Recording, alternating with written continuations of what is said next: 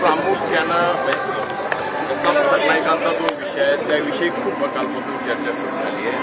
त्यांना रिपोर्ट त्यांच्या बाबतीत दिला गेला आहे. खरोखर जर एवढे आरोप त्यांच्यावरती झाले असेल आणि अचानकपणे जर क्लोजर रिपोर्ट किंवा ती समरी दिली जात असेल त्याविषयी शंका उपस्थित होते मला याची काहीही कल्पना नाही. त्यामुळे तुम्ही अचानक असे प्रश्न विचाराल तर मी त्याचं उत्तर देऊ शकणार नाही. त्याची सगळी माहिती घेऊन तुम्हाला उत्तर देईल. सर नाना पटोले आज पुण्यात आहेत. त्यांनी असं म्हटलंय की नरेंद्र मोदी हे ओबीसी नाहीयेत. याची कागदपत्र आम्ही सगळी गोळा केलेली आहेत आणि शक्तीसिंग गोयल जे काँग्रेसचे खासदार आहेत हे देशभरामध्ये यासाठी पत्रकार परिषदा घेणार आहेत आणि त्याची माहिती लोकांसमोर ठेवणार आहेत. नाना पटोले हे दिवसभर असल्या काहीतरी गोष्टी बोलत असतात. त्या गांभीर्याने घ्यायच्या नसतात. त्यामुळे तुम्ही गांभीर्याने घेऊ नका.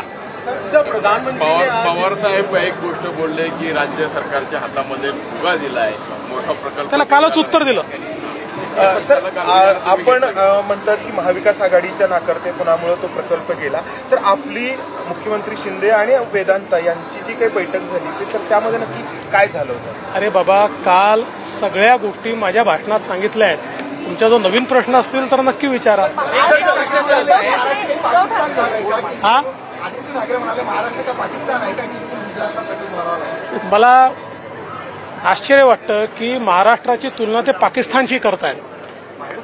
एकदा कंगना रनावत असं काहीतरी बोलल्या होत्या तर केवढा हंगामा झाला होता केवढा गजब झाला होता.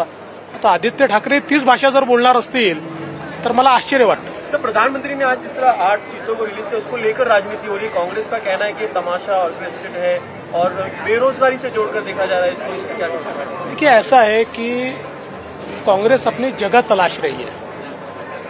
न वो जनता में है, न लोगों में है, न संसद में है। कहीं पर भी कांग्रेस का अस्तित्व सिमटता जा रहा है, सिकुड़ता जा रहा है। और इसलिए उन्होंने एक ही पॉलिसी की है, हर चीज़ को विरोध करना।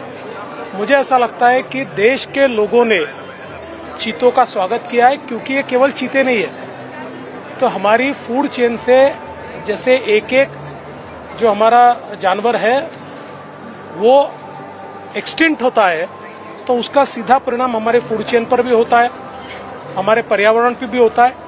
एक पूरी श्रृंखला है और इस श्रृंखला को वापिस हम लोग अगर वहाँ पर ठीक करना चाहते हैं और उस प्रयास में अगर प्रधानमंत्री जी कुछ करते हैं तो इसका स्वागत होना चाहिए, लेकिन मुझे ऐसा लगता है कि नकारात्मकता केवल कांग्रेस में भरी है।